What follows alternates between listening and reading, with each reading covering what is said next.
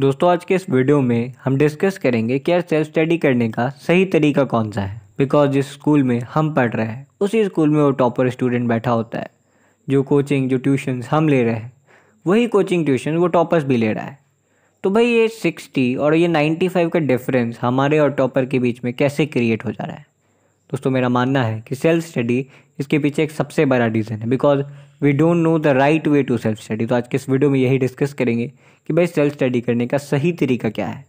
और स्पेशली उन स्टूडेंट्स के लिए जो पढ़ाई में अच्छे नहीं हैं, जिनको लगता है कि भाई मैं खुद से पढ़ ही नहीं सकता, मुझे टीचर्स या ट्यूटर्स की हेल्प ही चाहिए। तो बिल्कुल, आपके लिए वीडियो है। अगर आपको लगता है कि भाई मैं खुद से समझ नहीं पाता हूँ चैप्टर्स को, खुद से लेसन समझ में ही नहीं आता है तो ये मैं गारंटी लेता हूँ कि इस वीडियो के बाद आप जो भी चैप्टर को पढ़ोगे इस तरीके से अगर पढ़ोगे तो इतने अच्छे से समझ जाओगे कि तुम उस चैप्टर को पढ़ाने लायक हो जाओगे। दोस्तों फोर बेबी स्टेप्स हैं वन बाय वन फॉलो करना है, और एक बहुत छोटी सी वीडियो है तो बिल्कुल अंत तक बने रहिए हमारे साथ। दोस्तों फ़र्स्ट स्टेप आता है कि know the theme of the chapter यानी कि यहाँ पे हमें सबसे पहले चैप्टर का थीम समझना है।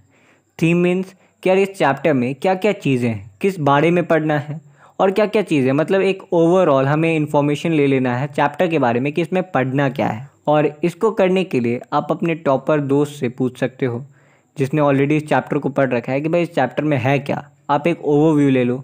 या फिर अगर आप यूट्यूब पे भी सर्च करके इसकी समरी देख सकते हो, और इस तरीके से आपको एक चैप्टर का ओवरव्यू फ़र्स्ट ले लेना है। ये हमारा फ़र्स्ट स्टेप रहा। आपका फाइव परसेंट चैप्टर यहाँ से प्रिपेयर हो जाएगा। नौ दोस्तों सेकेंड है कि रीड इट थ्रूली अब आपको क्या करना है, जब आपको पता है कि चैप्टर में है क्या तो अब आपको बस चैप्टर को फ्रॉम स्टार्टिंग टू एंड एक बार पढ़ जाना है। बिना रुके, बहुत ज़्यादा कॉन्सेंट्रेशन के साथ, लेकिन अगर आपको कुछ समझ में आ रहा है, समझ में नहीं आ रहा है तो भी टेंशन नहीं लेना है, बस आपको एक बार पढ़ जाना है। यहाँ पे हमारा एम चैप्टर को समझना नहीं है, बल्कि ये जानना है कि चैप्टर में है क्या क्या। दोस्तों, इस स्टेप के बाद आपको चैप्टर ऑलमोस्ट थर्टी परसेंट तक समझ में आ जाएगा। ये स्टेप भी ज़्यादा लंबा नहीं है, लंबा से लंबा चैप्टर भी आप 20 से 25 मिनट में जस्ट आपको रीड कर जाना है। बहुत ज़्यादा टाइम इसमें इन्वेस्ट नहीं करना है। नाउ दोस्तों आता है थर्ड और मोस्ट इंपॉर्टेंट स्टेप वो ये है कि अब आपको चैप्टर को स्लोली टॉपिक वाइज पढ़ना है और समझने की कोशिश करनी है। ओके तो अब आप चैप्टर को एक एक करके पर्टिकुलर टॉपिक्स लो और उसको धीरे धीरे एक एक सेंटेंस पढ़ो और हर एक सेंटेंस को समझने की कोशिश करो। और यहाँ पे हमें फेमेंट टेक्निक को यूज़ करना है। फेमेंट टेक्निक मतलब एक टॉपिक को पढ़ने के बाद बुक बंद करो और बिल्कुल एक टीचर की तरह उस टॉपिक को एक्सप्लेन करने की कोशिश करो एज एफ़ कि आपके सामने एक स्टूडेंट बैठा है। और जब तक आपको ना लगे कि आपने इसको बिल्कुल एक टीचर की तरह पढ़ा दिया है, तब तक उस टॉपिक पे काम करते रहो। और दोस्त, यहाँ पे एक चीज़ और डिस्कस करना चाहूँगा। होता क्या है कि जब हम इस स्टेप के साथ जब चैप्टर को पढ़ रहे होंगे तो कुछ टॉपिक्स होंगे जो हमें समझ में नहीं आ रही है टेक्स्ट बुक से। तो ऐसे में हम लोग क्या करते हैं कि भाई बुक बंद सेल्फ स्टडी ख़त्म। टीचर जो पढ़ाएँगे, वो पढ़ लेंगे, मुझसे सेल्फ स्टडी नहीं होना। ये चीज़ बिल्कुल नहीं करना है।